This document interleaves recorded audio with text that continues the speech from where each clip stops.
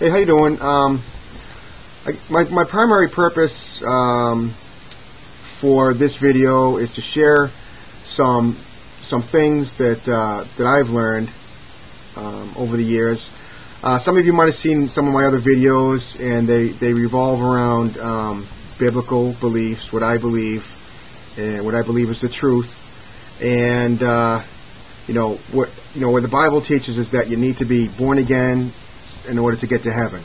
Uh, if you want to learn how to be born again, you can check out some of my other videos.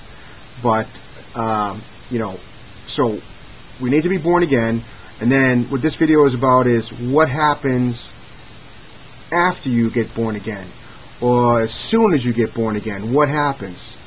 Um, the Bible teaches that you've turned you turned into a new creature.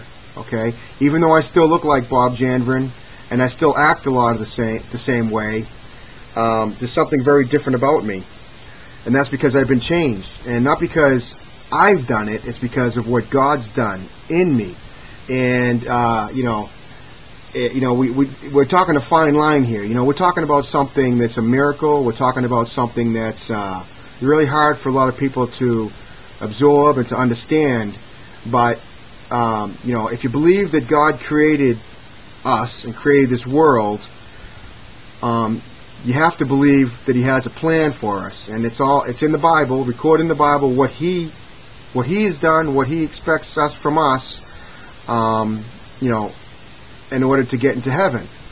Okay, so you know I've already taught on being born again. Okay, so what is being born again? What happens? All right. I mean, just quickly, I'll say to be born again, you need to you need to you need to believe in Jesus Christ, that He's our Redeemer.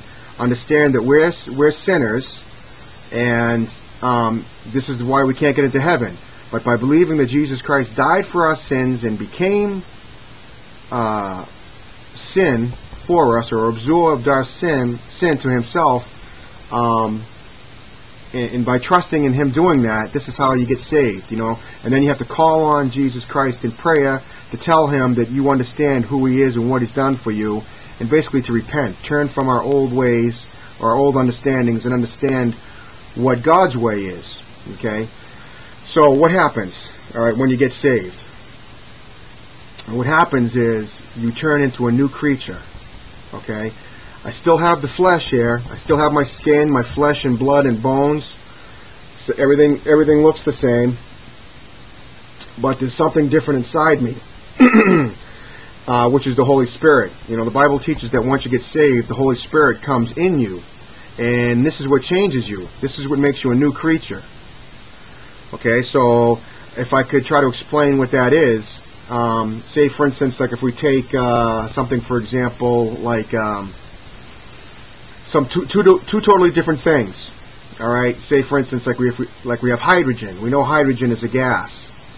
Okay, we know we know oxygen is a gas. Okay, and the two totally separate elements, two totally different, two totally different properties. Okay, but when you put them together, a reaction takes place. If you take, uh, I believe it's two H2O. Okay, so I think that's two hydrogen and one oxygen. I'm not a, I'm not a chemist, but I think we're all familiar with H2O. Okay, you take two of one and one of the other, and it makes it makes water, which is a totally different element from the original uh, elements, hydrogen and oxygen. Okay, now it's water. Totally different. Okay, and that's sort of like what being born again is.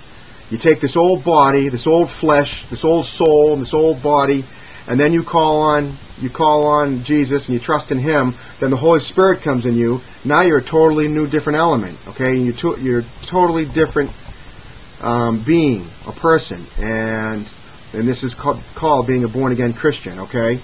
Um, and it's and it's true. You know, it's kind of hard to swallow, but this is just the way it is.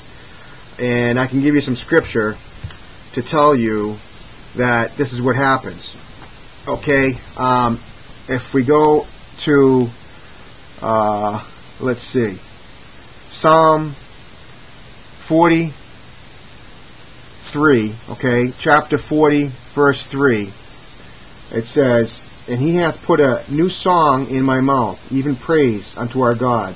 Many shall see it and fear and trust in the Lord.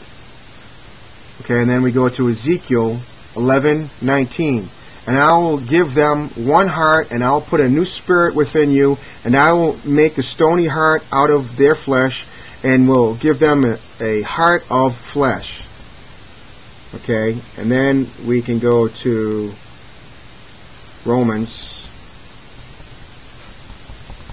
chapter 6, verse 3 it says, Know ye not that so many of us are baptized into Jesus Christ, were baptized into his death? Okay, verse 6 says, Knowing that this, that our old man is crucified with him, that the body of sin might be destroyed, that henceforth we should not serve sin. Okay, verse 7 says, For he that is dead is freed from sin. Okay, let's go to 2 Corinthians chapter 5 verse 17 says, Therefore, if any man be in Christ, he is a new creature. Old things are passed away. Behold, all things are become new.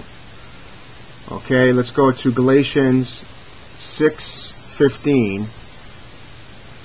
For in Christ Jesus neither circumcision availeth anything, nor uncircumcision, but a new creature.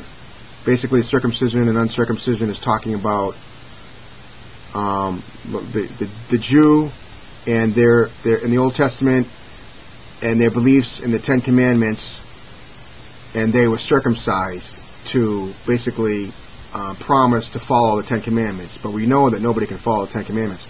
Uncircumcision is basically a Gentile. Okay, so so anyway, it says, uh, but it says basically neither. Okay, it says um, neither circumcision availeth anything, nor circumcision, but a new creature. Okay, so no matter if you follow the law or you don't follow the law, is what it's saying. They don't matter. It's becoming a new creature is what you need to do. Okay. All right, let's go to Ephesians 4:24. And that ye put on the new man, which after God is created in righteousness and true holiness. Okay, let me flip the page here. Let's go over to uh, Matthew 18:3. Okay. and said, Verily, I say unto you, except you be converted and become as little children, okay, this is like more like pure and like like new and like willing to learn, ye shall not enter into the kingdom of heaven. Let's go to Acts 3:19.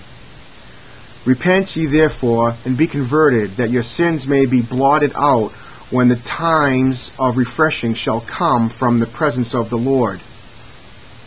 Okay, James 5:19. Brethren, if any of you do err from the truth, and one convert him, let him know that he which converteth the sinner from the error of his way shall save a soul from death and shall hide a multitude of sins.